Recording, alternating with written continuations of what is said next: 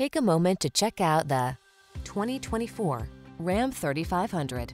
Get the truck that maximizes power and strength. The Ram 3500 is designed to handle the biggest jobs with ease while keeping you comfortable and connected.